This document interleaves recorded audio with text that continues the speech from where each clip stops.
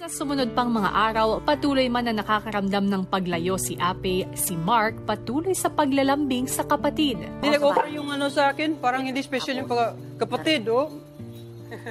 Mas gaganahan ako. I-shoot ko na lahat siguro kung... Kapag tulog. Oo. Ha? kung... Yung bread mo daw. Dapat ganun, kuya, oh, kain ka naman. Para bang, bread, apang, diretso lang kay yam-yam yung mata. Para sa inyo naman lahat yun. Sana kung may ano ako, may may special ano sa akin. Kaya nga, ginawa ko yun para sa atin lahat, eh, para sa inyo. Oo, tama. Hindi ako nag-ano ng special, special dito. Wala.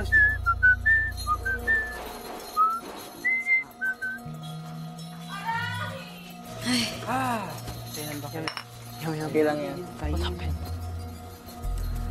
Takes time. Si Mark humingi na rin ng payo sa mga kasama. Ikaw, Tol, kung naka sa sitwasyon ko, anong gagawin ko? Distance lang siguro yung pinakauna kong ano eh. Sa tingin ko, kasi siya, parang hindi yan din mag, pag may marinig siyang mga, Hindi ma- ma- di, hindi niya magandahang salita, gaganon siya, magdidistansya yan. about the bread. Oh, oh you Ah, talked to her about about, the bread. Yeah, about the bread. Have you, have I, I saw, uh, yeah. She walked out. She walked I think you. Oh, she walked out. I feel you because your purpose is to lambing. Of course. That's You lambing lang. I would like to give you a tip how you Become close. become close. Maybe if you're talking, inject of humor. Like that. Oh my god. That's challenging. Ah. Si Ape nagbukas din ng saloobin sa girls.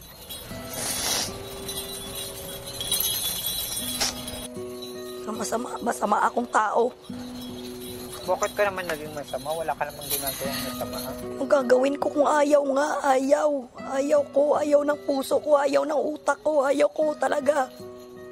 Kahit sabihin pang mali, mali, mali talaga yung inisip ko, mali ako. Pero ito yung nasa akin eh.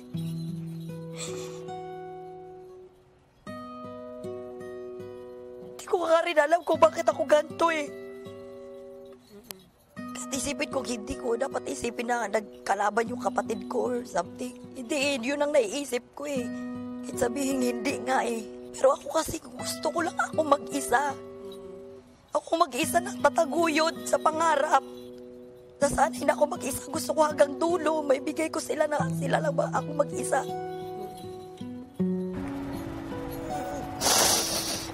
Sa patuloy na pagiging emosyonal ng kapatid, si Mark hindi na din maiwasang maapektuhan.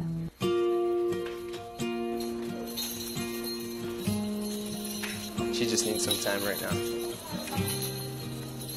Ang girls na lang muna kuya mag-ano sa kanya. Tapos pag sa palagay mo okay na, so doon mo i-grab.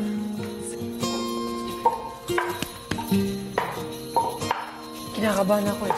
She just, needs some grow time right now, I think. I know it's hard for both of you guys. I know you want the best, so I'm trying to help you as much as we can too. Thank you for that. Yeah, no problem, man.